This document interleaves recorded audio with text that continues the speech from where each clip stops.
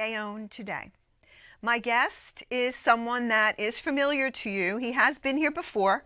We have a host of new issues that we are here to discuss. Uh, I'm going to entitle this show uh, Bed Bugs and Beyond. Okay, we're getting a little clever. And I'd like to welcome Ralph Citarella from Exper- Exterminating. Ralph, welcome to the show. Thank you for having me. You're welcome. Uh, given the fact that we've discussed quite a few things in the past, um, there are some issues in town now that I'd like to bring up.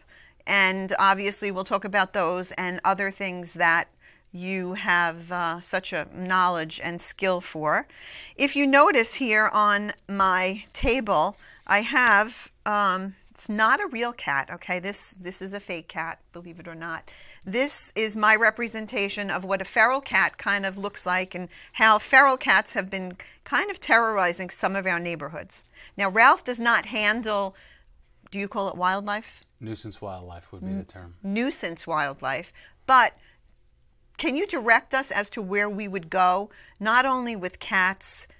As of last night, I have a huge raccoon in my backyard.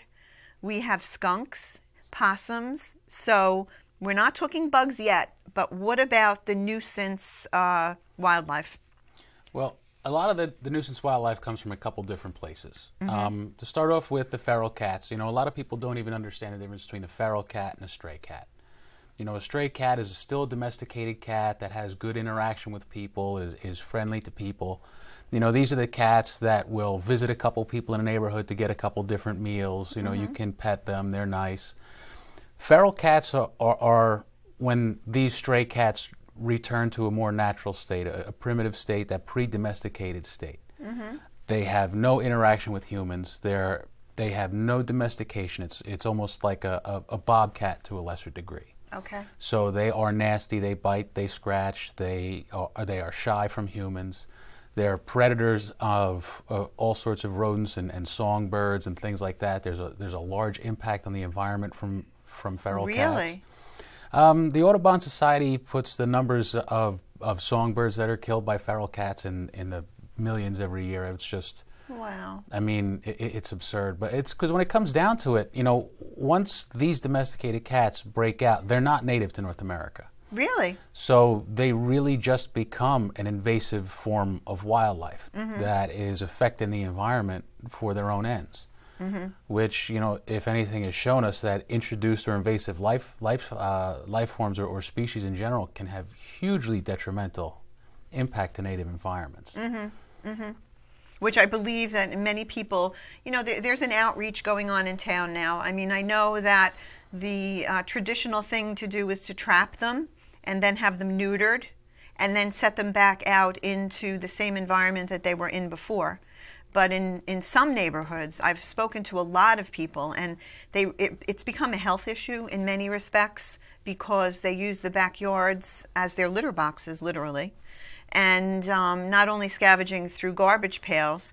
You know, one was so bold in my backyard that I was sitting out last summer eating shrimp, and out of the corner of my eye, I saw a paw come up and swat the shrimp tail off the plate. He scurried right over and he just went down and he started chomping on the tail. My hus- I looked at my husband. I said, "Did you just see what I saw?" And he said, "Yes." He said, "He's not leaving." So I had another piece of shrimp and I ate it, and he just sat waiting, looking at me. So the part about them, they're not even afraid. You know, he they they were he was there for the shrimp. I couldn't blame him. I was there for the shrimp, but. Um, some of their behaviors are, are a little scary, even when you when it comes to small children being out in a yard or in a playground and encountering them. Yeah. So, you know, I, I just wanted to talk about it a little bit with you and hope that, you know, we'll be able to find some kind of a solution. I know there's lots of things happening in town where a lot of the natural habitats of these animals has be, have been unearthed um, probably with possums and I mean skunks. Have you had any encounters with with those at all? Pretty regularly, as a matter Really? of fact. We're, we're seeing the numbers of possums and skunks increase in town. A lot of raccoon activity as well. I mean, 10 or 15 years ago, you would have the occasional possum, the occasional raccoon, and, and almost never a skunk. Okay. Um, now, just think in the last couple of years, we've had the deer that were running around downtown Bayonne. Yes. The turkeys that are, are running around. I have seen them about the myself a bunch of times. Yep. It- It's a general, it's a re-empowerment of nature, and we're seeing it happen a lot. Mm-hmm. Um, you know, thanks to EPA regulations and, and good hunting guidelines and minimal impact of industry on the Mm-hmm. environment, we're getting a lot of these these uh, animals to come back. You know, we're, we're seeing our, our hawks move back into town. Peregrine falcons have a nest down by the Bayonne Bridge. Really? Um, you know, these are all animals that 20 years ago just were not in the area because of environmental pollution or, or other things like that. So the same thing happens. So not only do we get more hawks, we get more falcons, we get more bald eagles, which are moving into the area. All that's great. Everyone forgets about the bottom end of that spectrum. So now our possums have that naturally rebounding kind of population growth. That the raccoons are, are intelligent enough to carve an easy living in, in a city environment because it's they are so intelligent. They have problem-solving intelligence. Yes, I just honestly I, I googled it this morning because when we we were sitting in our living room and my husband noticed something out the window and there was a giant raccoon climbing out of a tree and then he went all across our picket fence into the next yard followed by a feral cat. So it's a bit of a, of a circus atmosphere over there, and it's kind of interesting. But when I read about the raccoon, I said they said that they can break, they can open up latches. They said they they have skills that I didn't know a raccoon would have. So I'm a little scared, but I don't know what to do about it. Besides, you you do have someone that you say you call though. Right. We we have a specialist. Uh, the, the gentleman's name is Kyle Meyer. He works with his brother in uh, North Jersey Animal and Pest Control. Okay. And they specialize, even though the name is pest control, they specialize in animal removal. They, they focus on humane control and exclusion, trapping and relocation. So mm-hmm. it's good. You know, we do get a lot of calls for stuff. Mm-hmm. Um, they specialize and we don't. So it's a stretch for us, but very easy for them. Okay. It's, it's a great relationship. We've been working with them for a couple of years. Mm-hmm. And we turn over all of our stuff to them. You know, the, the guys are, not only are they good, they care about about running a good business and about the animals they're relocating.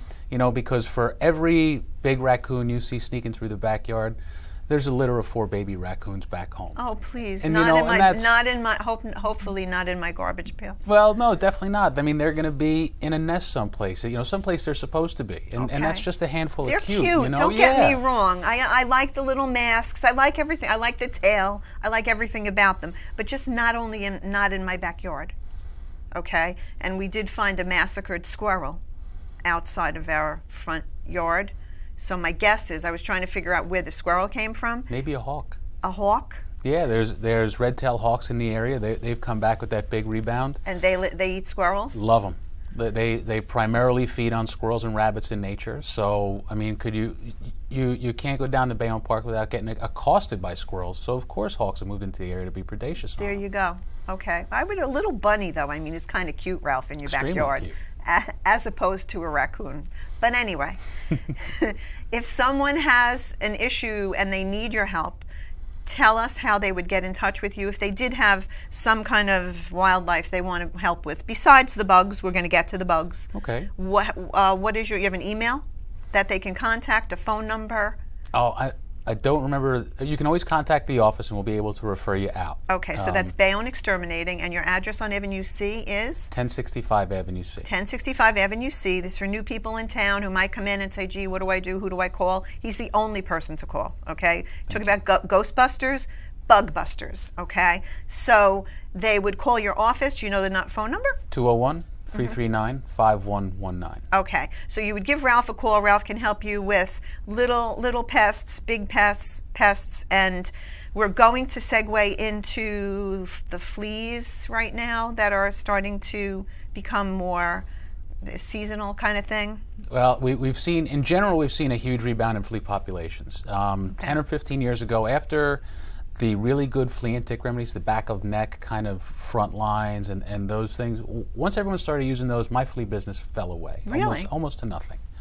Um, and it started to rebound, and I'm not exactly sure why. There's some thoughts that it's because of the quality of chemicals being used, since a lot of those, a lot of those flea and tick remedies are no longer on patent. They're being produced by cheaper suppliers. Okay. You know, there's some questions about the chemistry being as, of the same quality as it was initially, but we're seeing fleas start to come back. So now you take the rebounding flea populations and the less effectiveness of, of on-pet flea and tick controls, mm-hmm. then you throw in your feral cats, your raccoons, your possums, and now all of a sudden, not only do you have flea populations increasing, you have their vector and transportation transmittal devices, all these small mammals, Okay. and, and and again, you know, as the dog parks become more and more popular, you know, the combination of the dog walking park and everyone wants a green, clean, free space down at the park with no pesticide or chemicals applied. Absolutely true. So you know, you have these several kind of of, uh, of circumstances coming together in this in this one situation to produce and, and sustain ongoing flea populations. Mm hmm. So, so much of what we've worked at trying to prevent from happening has had a counter effect where we see the, you know, the environment. I know everyone wants the environment to be clean and everything to be have no pesticides, but the pesticides did play a role in kind of keeping some some of the pests, I guess, um, under control. Absolutely. I mean, eh, the, the judicious use of, of pesticide, proper applications, doing the right timing, using the right product the right way, that's so important. And mm-hmm. and whenever someone thinks uh, of, of bad effects from pesticides, it's never from the proper use. It's always from the misuse, abuse, overuse. Mm-hmm. You know, eh, they, they take the anecdotal circumstance a- and, mm-hmm. think that is the everyday mm-hmm. and that's not how it is. You know, it, you know, when you consider doing a flea application to a dog park, what you're really doing is tr- getting rid of the fleas from coming home with homeowners, bringing these these outdoor fleas into a house where children are children, elderly, and other people with compromised or lessened immune systems are there, and this is how children get tapeworm. By- Tape, oh, tapeworm. Flea, fleas transmit tapeworm. Really? It's one of the few ways for humans to get it is from a cat flea who's who's affected by tapeworm. Okay. So now, if your flea feeds on your raccoon or your possum, and then piggybacks home on your dog, Mm-hmm. now all of a sudden you have a, a potential health hazard into your house, Mm-hmm. but you're not really thinking that because you you're concerned there's a greater exposure concern to that pesticide application that's made once a month in a proper fashion. You know, it's it's not. Is it done here? Is it done in town um, at the dog park? As far as I know, no. Okay. Um, you know, I, I think things like that are done on an as-need basis as situations demand. Okay. One nice thing about a lot of the dog parks is they're kind of designed so there isn't a ton of, of viable flea habitat. Mm-hmm. Fleas are, are, are somewhat specialized in- that throughout the course of their lives they need a couple different types of, of substrate or, or breeding ground or organic compounds to, to properly develop in. live. How long do they live, fleas? What's their Um, lifespan? Very very still uh, about three to four weeks i'm sorry three to five weeks as an immature form and, and six four to six months as an adult Okay. um, they're one of the longer lived insects as an adult form but you know uh, an immature flea needs a lot of organic debris shade moisture things like that and dog parks are designed not to have those so there's Okay. there's a good level of, of mechanical and and uh, you know kind of flea deterrence There's there design. thought there's thought put into it. Yeah, yeah. Okay. You know, we're not just putting fences up and, and hanging doggy bags at the one entrance and that's that. You know, there's actual thought that goes into this stuff because there's, you know, one of the most important things about doing proper pesticide applications is making sure that you're not relying on that as a first tier response. Mm-hmm. You know, if you're doing proper sanitation, doing proper design, proper maintenance, things like that, Mm-hmm. you know, constantly trimming that grass, that'll help out much more than a reactive pesticide application. So it's the integration of those two methods that really gets the results. So in the wintertime, what happens to them? Are they do they are they dormant or are they how what happens to them in the winter? Um, all insects tend to overwinter in one way or another, Mm-hmm. where either uh, an egg will sustain itself through the winter, Really? Or a gravid female, pregnant female, will find some warmer spot to go. Mm-hmm. Um, and, and those two combinations of things are, are pretty good. And now, since fleas are so entrenched in the life cycle of mammals, it's easy for fleas and flea eggs to get set up with a squirrel who's going to make it through the winter anyway. So they don't have to worry about control Oh, uh, or, or temperature control Okay. because they're in the squirrel's nest, which never really falls below a habitable temperature for squirrels. So they piggyback off of another another um, animal. Off one of their prey animals, or one of their, their parasitic uh, hosts. Okay. So, and, and, and fleas also have a, a very unique aspect to their development where they they go through complete uh, metabolic growth, which means like a caterpillar, there's an egg, an immature stage, a pupal stage or a cocoon before they come to that final adult stage. So they change completely throughout the course of their lives. The pupal stage in uh, butterfly, we call it a cocoon, for a flea is almost impervious to chemical or, or other Really? type of impervious realistically impervious you know you know it's not like you can send it to space and back and it's still viable but you know they can sit for months and months at a time and actually delay their development until a viable host comes in wow. Actually, we always I always laugh in, in, in the entomology industry. We make a joke that the design for the alien in the original movie Aliens, with the egg that opens when the mm-hmm. astronaut touches it, mm-hmm. that's very comparable to how flea pupae respond. They'll hmm. respond to carbon dioxide in the atmosphere and vibrations of a larger animal moving around, and then choose that time to hatch based on those stimulus. Interesting. So, one thing you should know, and I would like Ralph to give a little bit of a commercial about how he knows everything that he does know, because this is not something I know the business itself has been around for a very long time. Your grand, I believe, was it your grandfather that started it on his porch? Grandfather, yeah. Yes, that I recall from the, the last show that we did. Your business is now in Bayonne for how many years? Over 90. over 90 years in business. But my guess would be, Ralph, were you the only one that had an extended education in um, the field? Yeah, I, I did. I mean, you get a lot of hands-on education. We've always gone back to training. You know, um, the New Jersey State uh, Pest Management Association has always held ongoing training, and we've always ex- exposed ourselves to stuff like that. It's the best way to stay abreast of the industry. Um, after I graduated college in 2002 and, and came back home, I got involved in the industry.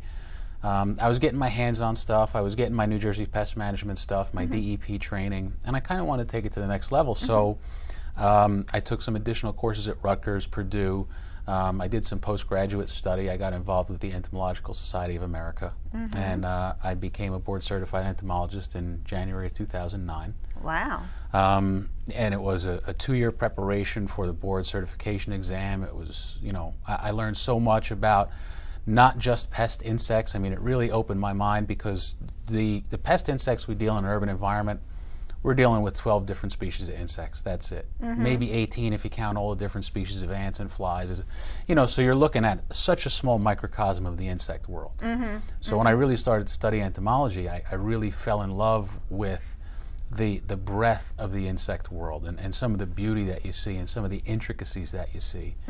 Um, one of my favorite things in entomology is mimicry. How different species of insects will try and look like others. How many Really? how many species of flies try and look like a bee or a wasp so predators think they have a stinger? There's a bunch of different Oh, moths. Oh, that's interesting. Like little chameleons. Yeah, well, not they don't change so much, but they're designed to look like a specific thing. For instance, there's a species of moths that when they hold their wings in certain patterns, they look like owls' eyes. They have the face and the orange eyes for owls, mm-hmm. so that anything that might prey on a moth would be afraid of an owl. So when this moth is naturally at rest, they look like two big owl's eyes sticking out of a oh, dark Oh, That's spot in a tree. interesting. There's a ton of things like that, and I, I just, I mean, you know, it's so nice to see the other side of entomology Yeah. instead of just, you know, the Na- downside what we deal with. All about nature. Yeah. Yeah. I mean, people only want to only think about. Well, let me just get rid of it, and obviously they want to kill them. But you know, in, in and they're not in a place where they're supposed to be either. But Ralph has a bit of a tender side when it comes to the job that he does. And um, the other thing that I wanted you to bring up a little bit were bed bugs, because I know that there's been a resurgence of bed bugs. And um, how do you treat those? Um, well, bed bugs are always a hot topic, you know, and, and anytime we talk about bed bugs, I always think it's important to, to mention that they don't spread disease, Okay. which a lot of people think is, is something that's part and parcel to a bed bug infestation. And they're not only in a bed. no, no. They're um, not only in a bed. No, it's it's the furniture next to the bed. Mm-hmm. You know, it's any of these items inside the mattress or box spring. Uh, they they tend to travel very short distances to their host unless we push them that way. Mm-hmm. So if you have someone who's applying a, a cheap pesticide or even a heavy cleanser or alcohol spray to the mattress box springer or furniture, Mm-hmm. the insects will relocate into the cracks and crevices of the walls, if not into the wall voids themselves. Okay, so the host would be human? Yes. Okay, so they feed off of human. I'm getting itchy. Ralph, it's nothing personal. Every time you come in, We did I this start last to. I start to feel the creepy crawlers. I do. So the hosts are human for bed Yes. bugs. Yeah. The Do they bed do they feed off of animals too? They'll they'll they'll, they'll do cross species hosting if denied a human host. Um, their favorites are actually chickens and, and other forms of birds. Okay. Um, and I have seen videos of bed bugs feeding on dogs. But I, I think a bed bug bed bugs are, are one of those things that are in the insect world that are uniquely adapted to their host. They're kind of specific on humans. Mm-hmm. I have a very close relative called a bat bug that is almost morphologically identical to a bed bug, except they cannot survive on only human hosts. Once you take the bats out of the building, the bat bugs are on a limited time scale and eventually die. You're talking about bats. Yeah. Okay, do we have because we just did a show with a baseball bat, which is kind of which is kind of funny, but bats. We have bats in Bayonne? Yeah. Yeah, Okay. and not not as many as we used to. The the bats that are in New Jersey ha- are just rebounding from a, a disease epidemic that moved through. Um, Really? there was, I believe, it was called white nose fungus, a, a fungus that attacked the, the respiratory passages of the bats. Mm-hmm. And bats can be extremely beneficial. You know, they bats tend to eat large amounts of insects, both moths, mosquitoes, other flying insects. You know, and mosquitoes are w- one of the few insects that we have that really are not beneficial. They're, they're mosquitoes kill more people every year than all the wars What in the about world the going what on. are we talking about? The West Nile virus? What's the big virus now? Zika was Zika. was everyone was scared of last year. Okay. Um, but there's other things. I mean, malaria has shaped the course of human civilization, Mm-hmm. And malaria still kills almost a million people every year in Africa alone. Okay. Um, the fact that Congress has a summer break is because of malarial mosquitoes in the 19th century. Really? Yeah, I mean, th- this is this is how big an impact mosquitoes have on human health. Um, so this is just this is not a new thing. This is just this year's thing. Okay. You know, fortunately, the mosquitoes that transmit the Zika virus are the same species that transmit yellow virus Okay. or uh, yellow fever. Mm-hmm. So it's a species of mosquito that we've kind of dealt with in the United States a mm-hmm. hundred years ago mm-hmm. when we started our first ditching and drainage programs or, or general area-wide mosquito uh, control measures, things like that. So we don't have a, a huge opportunity to, to suffer from mosquito-borne diseases like a third world or undeveloped nation would.